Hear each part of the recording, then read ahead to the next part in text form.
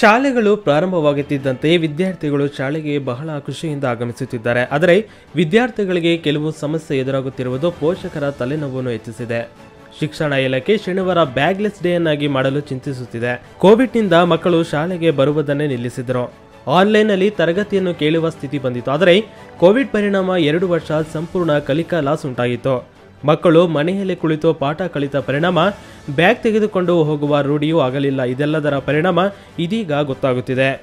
ವಿದ್ಯಾರ್ಥಿಗಳ ಬ್ಯಾಗ್ ಹೊರೆಯನ್ನು ಇಳಿಸುವ ದೃಷ್ಟಿಯಿಂದಲೇ ಸೆಮಿಸ್ಟರ್ ಪದ್ಧತಿಯನ್ನು ರೂಢಿಗೆ ತರಲಾಗಿತ್ತು. ಆದರೂ ವಿದ್ಯಾರ್ಥಿಗಳ ಬ್ಯಾಗ್ ಹೆಚ್ಚು ಭಾರವಾಗುತ್ತಿದೆ. ಮಕ್ಕಳು ತೂಕದ ಬ್ಯಾಗನ್ನು ಹೊತ್ತು ತರುವುದರಿಂದ ದೇಹ ರಚನೆಯಲ್ಲಿ ವ್ಯತ್ಯಾಸವಾಗುವ ಸಾಧ್ಯತೆ ಇದೆ. ಇನ್ನು ನೋವು ಕಾಣಿಸಿಕೊಳ್ಳುತ್ತಿರುವುದು ಪೋಷಕರನ್ನು ಆತಂಕಕ್ಕೆ ದೂಡಿತ್ತು. ಇದರ ಪರಿಣಾಮವೇ ನ್ಯೂ ಬ್ಯಾಗ್ ಡೇ ಚಿಂತನೆಯಾಗಿದೆ.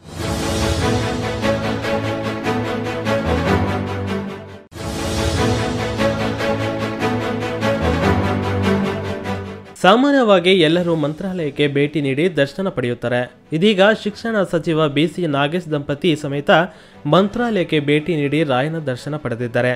ರಾಯಚೂರು ಜಿಲ್ಲಾ ಪ್ರವಾಸ ಹಿನ್ನೆಲೆ ಆಗಮಿಸಿರುವ ಬಿಸಿ ನಾಗೇಶ್ ಅವರು ಮಂತ್ರಾಲಯದಲ್ಲಿ ಮಂಚಾಲಮ್ಮ ದೇವಿ ದರ್ಶನ ಪಡೆದ ಬಳಿಕ ಗುರು ರಾಘವೇಂದ್ರ ಸ್ವಾಮಿಗಳ ವೃಂದಾವನಕ್ಕೆ ತೆರಳಿ ದರ್ಶನ ಪಡೆದು ವಿಶೇಷ ಪೂಜೆ ಸಲ್ಲಿಸಿದರು. ಅಲ್ಲದೆ ರಾಯಚೂರಿನಲ್ಲಿ ಇಂದು ವಿವಿಧ ಕಾರ್ಯಕ್ರಮಗಳಲ್ಲಿ ಭಾಗಿಯಾಗಲಿದ್ದಾರೆ. ದೇವದುರ್ಗ ಅರಿಕೇರದಲ್ಲಿ ಆಯೋಜಿಸಿರುವ ಮಳೆ ನೀರು ಕೊಯ್ಲು ಯೋಜನೆ ಉದ್ಘಾಟನೆ ಬಳಿಕ ರಾಯಚೂರು ಜಿಲ್ಲಾ ಪಂಚಾಯತ್ ಸಭಾಂಗಣದಲ್ಲಿ ಶೈಕ್ಷಣಿಕ ಪ್ರಗತಿ ಪರಿಶೀಲನೆ ಸಭೆಯನ್ನು ನಡೆಸಲಿದ್ದಾರೆ.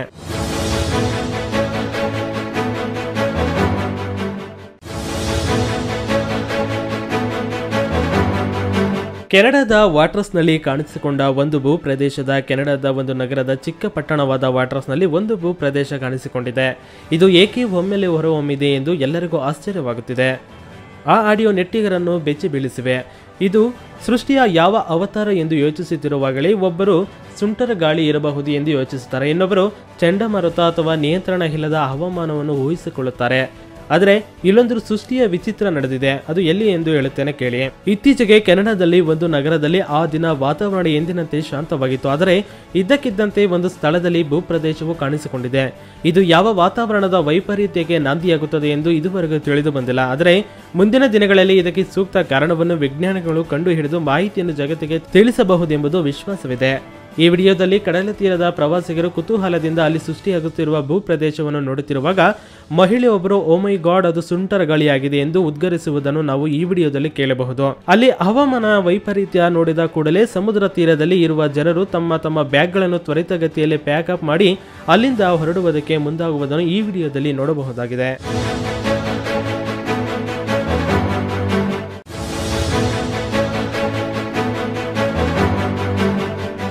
ದೇಶದಲ್ಲಿ ಕೊರೋನಾ ಸೋಂಕಿತರ ಸಂಖ್ಯೆಯಲ್ಲಿ ಇಂದು ಮತ್ತೆ ಇಳಿಕೆ ಕಂಡಿದ್ದು, ಕಳೆದ ಇಪ್ಪತ್ನಾಲ್ಕು ಗಂಟೆಯಲ್ಲಿ ಹದಿಮೂರು ಸಾವಿರದ ಎಂಬತ್ತಾರು ಮಂದಿಗೆ ಹೊಸದಾಗಿ ಕೊರೋನಾ ಸೋಂಕು ದೃಢಪಟ್ಟಿದೆ.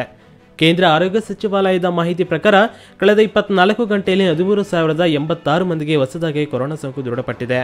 ಕಳೆದ ಇಪ್ಪತ್ನಾಲ್ಕು ಗಂಟೆಯಲ್ಲಿ ಕೊರೋನಾ ಸೋಂಕಿನಿಂದ ಇಪ್ಪತ್ನಾಲ್ಕು ಮಂದಿ ಮೃತಪಟ್ಟಿದ್ದಾರೆ.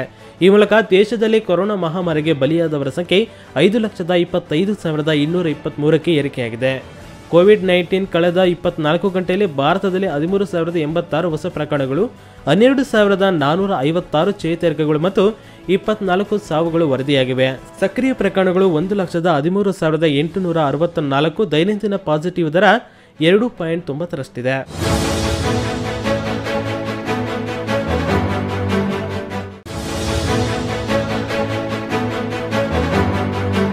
ನನಗೆ ಮೊದಲು ಡ್ಯಾನ್ಸ್ ಬಗ್ಗೆ ಬಹಳ ಆಸಕ್ತಿ ಇತ್ತು, ಹವ್ಯಾಸವೂ ಇತ್ತು. ಆದರೀಗ ಬೇರೆಯವರನ್ನು ಕುಣಿಸುತ್ತೇನೆ. ನಾನು ಕುಣಿಯಲಿ ಎಂದು ಶಾಸಕಿ ಲಕ್ಷ್ಮಿ ಹೆಬ್ಬಾಳ್ಕರ್ ಹೇಳಿದರು. ಆ ಮೂಲಕ ಪರೋಕ್ಷವಾಗಿ ವಿರೋಧಿಗಳಿಗೆ ಟಾಂಗ್ ಕೊಟ್ಟರು. ಬೆಳಗಾವಿಯಲ್ಲಿ ಬೆಳಗಾವಿಯ ಕಲಾವಿದ ರಾಜು ಪವಾರ್ ಆಯೋಜಿಸಿದ್ದ ಮರಾಠಿ ಕಾಮಿಡಿ ಶೋ ಕಾರ್ಯಕ್ರಮವೊಂದರಲ್ಲಿ ಮಾತನಾಡಿದ ಲಕ್ಷ್ಮಿ ಹೆಬ್ಬಾಳ್ಕರ್, ಇಪ್ಪತ್ತೈದು ವರ್ಷಗಳ ಹಿಂದೆ ನಾನು ಕಾನ್ಪುರದಲ್ಲಿ ವಾಸವಿದ್ದೆ. ಕಾನ್ಪುರದಿಂದ ಬೆಳಗಾವಿಗೆ ನನ್ನ ಮಗನನ್ನು ಡ್ಯಾನ್ಸ್ ಕ್ಲಾಸ್ಗೆ ಕಲಾವಿದರ ರಾಜು ಪವಾರ್ ಅವರ ಬಳಿ ಕರೆದುಕೊಂಡು ಬರ್ತಿದ್ದೆ. ರಾಜು ಪವಾರ್ ತಮ್ಮ ಜೀವನದಲ್ಲಿ ಬಹಳ ಕಷ್ಟಪಟ್ಟಿದ್ದಾರೆ. ನಾವೆಂದಿಗೂ ಕಲಾವಿದ ರಾಜು ಪವಾರ್ ಜೊತೆ ಇರ್ತೇವೆ ಎಂದರು. ರಾಜಹಂಸಗಢದಲ್ಲಿ ಮುಂದಿನ ದಿನಗಳಲ್ಲಿ ಬೃಹತ್ ಛತ್ರಪತಿ ಶಿವಾಜಿ ಮೂರ್ತಿ ಉದ್ಘಾಟನೆ ನಡೆಯಲಿದ್ದು, ಈ ವೇಳೆ ಎರಡು ದಿನ ವೇದಿಕೆ ಕಾರ್ಯಕ್ರಮ ಇರುತ್ತದೆ. ಕಲಾವಿದ ರಾಜು ಪವಾರ್ ಅವರು ಅಲ್ಲಿಯೂ ಕಾರ್ಯಕ್ರಮ ನಡೆಸಿ ಕೊಡಬೇಕು ಎಂದು ಲಕ್ಷ್ಮೀ ಹೆಬ್ಬಾಳ್ಕರ್ ಹೇಳಿದರು.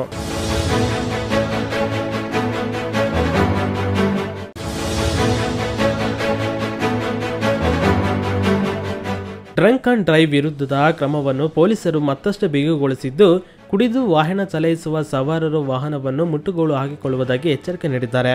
ಬೆಂಗಳೂರು ಸಂಚಾರಿ ವಿಭಾಗದ ಜಂಟಿ ಪೊಲೀಸ್ ಆಯುಕ್ತರಾದ ಡಾಕ್ಟರ್ ಬಿ ಆರ್ ರವಿಕಾಂತೇಗೌಡ ಈ ಬಗ್ಗೆ ಎಚ್ಚರಿಕೆ ನೀಡಿದ್ದು ಡ್ರಂಕ್ ಅಂಡ್ ಡ್ರೈವ್ ಒಂದು ಅಪಾಯಕಾರಿ ಸಂಚಾರ ಉಲ್ಲಂಘನೆ. ಈ ಸಂಚಾರ ಉಲ್ಲಂಘನೆಯನ್ನು ಪೊಲೀಸರು ರಾಜಿ ಮಾಡಿಕೊಳ್ಳುವುದಿಲ್ಲ. ನಿಯಮ ಉಲ್ಲಂಘಿಸುವವರ ವಾಹನ ತಪಾಸಣೆ ತೆಗೆದುಕೊಳ್ಳಲು ಸಾಧ್ಯವಿಲ್ಲ. ಪೊಲೀಸರು ವಾಹನವನ್ನು ಮುಟ್ಟುಗೋಲು ಹಾಕಿಕೊಳ್ಳುತ್ತಾರೆ ಮತ್ತು ಸ್ವೀಕೃತಿಯನ್ನು ನೀಡುತ್ತಾರೆ. ಇನ್ನು ದಂಡವನ್ನು ನ್ಯಾಯಾಲಯದಲ್ಲಿ ಮಾತ್ರ ಪಾವತಿಸಬೇಕು ಎಂದಿದ್ದಾರೆ.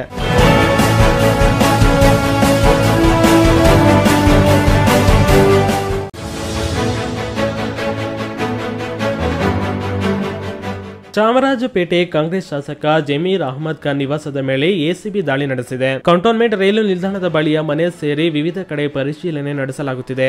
ಮಂಗಳವಾರ ಬೆಳ್ಳಂಬೆಳಗ್ಗೆ ಕರ್ನಾಟಕದ ಭ್ರಷ್ಟಾಚಾರ ನಿಗ್ರಹ ದಳ ಅಧಿಕಾರಿಗಳು ದಾಳಿ ನಡೆಸಿದ್ದಾರೆ. ನ್ಯಾಷನಲ್ ಟ್ರಾವೆಲ್ಸ್ ಮಾಲೀಕರು ಆಗಿರುವ ಜಮೀರ್ ಅಹಮದ್ ಖಾನ್ ನಿವಾಸದ ಮೇಲೆ ಅಕ್ರಮ ಆಸ್ತಿಗಳಿಗೆ ಆರೋಪದ ಮೇಲೆ ದಾಳಿ ಮಾಡಲಾಗಿದೆ. ಬೆಂಗಳೂರಿನ ಐದು ಪ್ರದೇಶದಲ್ಲಿ ನಲವತ್ತಕ್ಕೂ ಅಧಿಕ ಅಧಿಕಾರಿಗಳ ತಂಡ ಏಕಕಾಲಕ್ಕೆ ದಾಳಿ ನಡೆಸಿದೆ. ದಾಖಲೆಗಳ ಪರಿಶೀಲನೆ ಕಾರ್ಯ ನಡೆಯುತ್ತಿದೆ. ಸಂಜೆಯ ತನಕ ಪರಿಶೀಲನೆ ಕಾರ್ಯ ನಡೆಯಲಿದೆ ಎಂದು ಅಂದಾಜಿಸಲಾಗಿದೆ. ಎರಡು ಸಾವಿರದ ಇಪ್ಪತ್ತೊಂದರ ಆಗಸ್ಟ್ ತಿಂಗಳಿನಲ್ಲಿ ಜಾರಿ ನಿರ್ದೇಶನಾಲಯದ ಅಧಿಕಾರಿಗಳು ಜಮೀರ್ ಅಹಮದ್ ಖಾನ್ ನಿವಾಸದ ಮೇಲೆ ದಾಳಿ ಮಾಡಿದ್ದರು. ಇದರ ವರದಿ ಆಧಾರದ ಮೇಲೆ ಎಸ್ಬಿ ಅಕ್ರಮ ಆಸ್ತಿಗಳಿಗೆ ಪ್ರಕರಣ ದಾಖಲೆ ಮಾಡಿಕೊಂಡಿತ್ತು ಈ ಪ್ರಕರಣದ ಆಧಾರದ ಮೇಲೆಯೇ ದಾಳಿ ಮಾಡಲಾಗಿದೆ. ಎಸಿಬಿ ಅಧಿಕಾರಿಗಳು ಕಂಟೋನ್ಮೆಂಟ್ ಪ್ರದೇಶದಲ್ಲಿರುವ ಮನೆ ಸಿಲ್ವರ್ ಓಕ್ ಅಪಾರ್ಟ್ಮೆಂಟ್, ಸದಾಶಿವನಗರದ ಗೆಸ್ಟ್ ಹೌಸ್, ಬನಸಂಕೇರಿಯಲ್ಲಿರುವ ಜಿಕೆ ಅಸೋಸಿಯೇಟ್ಸ್ ಕಳಶಿಪಾಳ್ಯದಲ್ಲಿರುವ ನ್ಯಾಷನಲ್ ಟ್ರಾವೆಲ್ಸ್ ಕಚೇರಿ ಮೇಲೆ ದಾಳಿ ನಡೆಸಿದೆ. ಜಮೀರ್ ಅಹಮದ್ ಖಾನ್ ಐಷಾರಾಮಿ ಬಂಗಲೆ ನಿರ್ಮಾಣದ ವಿಚಾರಕ್ಕೆ ಸಂಬಂಧಿಸಿದಂತೆ ಇಡಿ ದಾಳಿ ನಡೆಸಿತ್ತು. ಬಳಿಕ ಅವರು ನೀಡಿದ ವರದಿ ಆಧರಿಸಿ ಎಸಿಬಿ ಅಧಿಕಾರಿಗಳು ಪ್ರಕರಣ ದಾಖಲು ಮಾಡಿಕೊಂಡಿದ್ದರು. ಪ್ರತಿಪಕ್ಷ ನಾಯಕ ಸಿದ್ದರಾಮಯ್ಯ ಆಪ್ತರಾಗಿರುವ ಜೈಮೀರ್ ಅಹಮದ್ ಖಾನ್ ಮೇಲೆ ಎಸಿಬಿ ದಾಳಿ ರಾಜಕೀಯ ಆರೋಪ ಪ್ರತ್ಯಾರೋಪಗಳಿಗೆ ಕಾರಣವಾಗುವ ಸಾಧ್ಯತೆ ಇದೆ.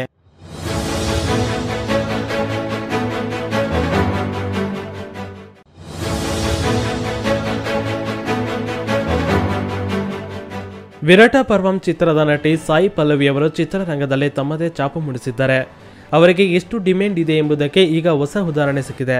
ದಕ್ಷಿಣ ಭಾರತದಲ್ಲಿ ನಟಿ ಸಾಯಿ ಪಲ್ಲವಿ ಅವರಿಗೆ ಸಖತ್ ಬೇಡಿಕೆ ಇದೆ. ಅವರು ಕೋಟ್ಯಾಂತರ ಅಭಿಮಾನಿಗಳು ಹೊಂದಿದ್ದಾರೆ. ಅತ್ಯುತ್ತಮ ನಟನೆ ಮತ್ತು ಸಿಂಪಲ್ ವ್ಯಕ್ತಿತ್ವದ ಕಾರಣದಿಂದ ಅವರು ಅನೇಕರಿಗೆ ಇಷ್ಟ ಆಗುತ್ತಾರೆ. ಆದರೆ ಈಗ ಒ ಟಿ ಟಿಯಲ್ಲಿ ಈ ಚಿತ್ರ ಧೂಳೆಬ್ಬಿಸುತ್ತಿದೆ ನೆಟ್ಫ್ಲಿಕ್ಸ್ ಮೂಲಕ ಸ್ಟ್ರೀಮಿಂಗ್ ಆಗುತ್ತಿರುವ ವಿರಾಟ್ ಪರ್ವಾನ್ ಚಿತ್ರವನ್ನು ಜನರು ಮುಗಿಬಿದ್ದು ನೋಡುತ್ತಿದ್ದಾರೆ. ಹಾಗಾಗಿ ಇದು ನಂಬರ್ ಒನ್ ಟ್ರೆಂಡಿಂಗ್ನಲ್ಲಿದೆ ದಿ ಕಾಶ್ಮೀರ್ ಫೈಲ್ ಸಿನಿಮಾ ಬಗ್ಗೆ ಸಾಯಿ ಪಲ್ಲವಿ ನೀಡಿದ ಹೇಳಿಕೆಯನ್ನು ಅನೇಕರು ವಿರೋಧಿಸಿದ್ದರು. ಅವರು ಆ ಹೇಳಿಕೆ ಕಾರಣದಿಂದ ತಾವು ವಿರಾಟ ಪರ್ವಂ ಚಿತ್ರವನ್ನು ಬಹಿಷ್ಕಾರ ಮಾಡುವುದಾಗಿ ಹಲವರು ಗುಡುಗಿದ್ದರು. ಆದರೆ ಈಗ ನೆಟ್ಫ್ಲಿಕ್ಸ್ನಲ್ಲಿ ಜನರು ಈ ಚಿತ್ರವನ್ನು ಹೆಚ್ಚಾಗಿ ವೀಕ್ಷಿಸುತ್ತಿದ್ದಾರೆ. ಟ್ರೆಂಡಿಂಗ್ನಲ್ಲಿ ನಂಬರ್ ಒನ್ ಆಗಿರುವುದು ಚಿತ್ರತಂಡ ಸಂತಸಕ್ಕೆ ಕಾರಣ ಆಗಿದೆ. ಯಾರು ಎಷ್ಟೇ ಟೀಕೆ ಮಾಡಿದರೂ ಸಾಯಿ ಪಲ್ಲವಿ ನಂಬರ್ ಒನ್ ಎಂದು ಅಭಿಮಾನಿಗಳು ಖುಷಿ ಪಡುತ್ತಿದ್ದಾರೆ.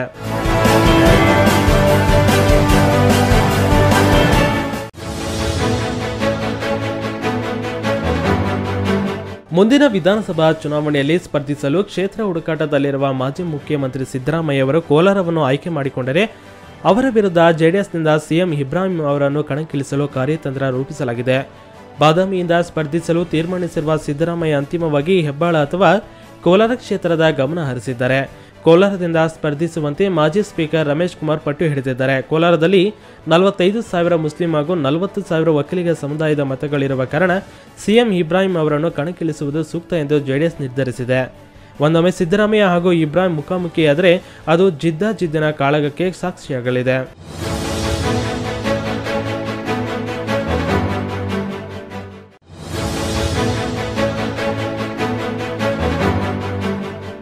ಕರ್ನಾಟಕದ ಉತ್ತರ ಒಳನಾಡು ಹಾಗೂ ದಕ್ಷಿಣ ಒಳನಾಡಿನ ಜಿಲ್ಲೆಗಳಲ್ಲಿ ಸಾಧಾರಣ ಮಳೆಯಾಗಲಿದ್ದು, ಮುಂದಿನ ನಾಲ್ಕು ದಿನಗಳವರೆಗೆ ಹಳದಿ ಅಲರ್ಟ್ ಘೋಷಣೆ ಮಾಡಲಾಗಿದೆ. ಮಲೆನಾಡು ಮತ್ತು ಕರಾವಳಿಯಲ್ಲಿ ಆರೆಂಜ್ ಅಲರ್ಟ್ ಘೋಷಿಸಲಾಗಿದೆ. ಕರ್ನಾಟಕದಲ್ಲಿ ವರುಣ ಆರ್ಭಟ ಜೋರಾಗಿದ್ದು, ಚಿಕ್ಕಮಗಳೂರು, ಉತ್ತರ ಕನ್ನಡ, ಶಿವಮೊಗ್ಗ, ಕೊಡಗು, ದಕ್ಷಿಣ ಕನ್ನಡ, ಉಡುಪಿಯಲ್ಲಿ ಭಾರಿ ಮಳೆಯಾಗುತ್ತಿದೆ. ಇಂದು ಕೂಡ ಮಲೆನಾಡು, ಕರಾವಳಿಯಲ್ಲಿ ಮಳೆ ಹೆಚ್ಚಾಗಲಿದೆ ಎಂದು ಹವಾಮಾನ ಇಲಾಖೆ ಮುನ್ಸೂಚನೆ ನೀಡಿದೆ.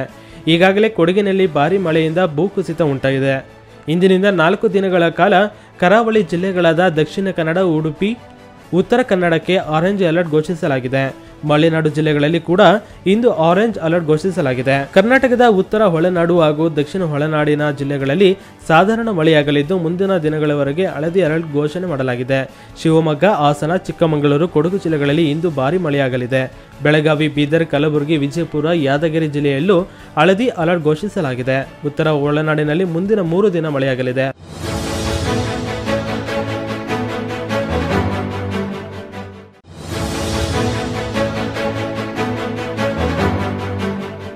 ಹಲವು ಸಿನಿಮಾಗಳಲ್ಲಿ ಪ್ರಿಯಾಂಕಾ ಉಪೇಂದ್ರ ಬ್ಯುಸಿ ಆಗಿದ್ದಾರೆ. ಅವರಿಗೆ ಡಾಕ್ಟರೇಟ್ ಸಿಕ್ಕಿರುವುದು ಅಭಿಮಾನಿಗಳಿಗೆ ಮತ್ತು ಆಪ್ತರಿಗೆ ಸಂತಸ ತಂದಿದೆ. ನಟ ಪ್ರಿಯಾಂಕಾ ಉಪೇಂದ್ರ ಅವರಿಗೆ ಗೌರವ ಡಾಕ್ಟರೇಟ್ ಸಿಕ್ಕಿದೆ. ಕಲೆ ಮತ್ತು ಸಾಮಾಜಿಕ ಕಾರ್ಯಕ್ಕೆ ಅವರಿಗೆ ಡಾಕ್ಟರೇಟ್ ನೀಡಲಾಗಿದೆ. ಈ ಗೌರವ ಸಿಕ್ಕಿರುವುದು ಅವರಿಗೆ ಖುಷಿ ನೀಡಿದೆ. ಇದರಿಂದ ಇನ್ನಷ್ಟು ಜವಾಬ್ದಾರಿ ಹೆಚ್ಚಿದೆ ಎಂದು ಅವರು ಹೇಳಿದ್ದಾರೆ. ಅನೇಕ ಸಿನಿಮಾಗಳಲ್ಲಿ ಪ್ರಿಯಾಂಕಾ ತೊಡಗಿಕೊಂಡಿದ್ದಾರೆ. ಅವರಿಗೆ ಡಾಕ್ಟರ್ ಸಿಕ್ಕಿರುವುದಕ್ಕೆ ಉಪೇಂದ್ರ ಅವರ ಇಡೀ ಕುಟುಂಬಕ್ಕೆ ಸಂತಸ ಆಗಿದೆ. ಇದೆಲ್ಲದರ ಬಗ್ಗೆ ಪ್ರಿಯಾಂಕಾ ಮಾತನಾಡಿದ್ದಾರೆ.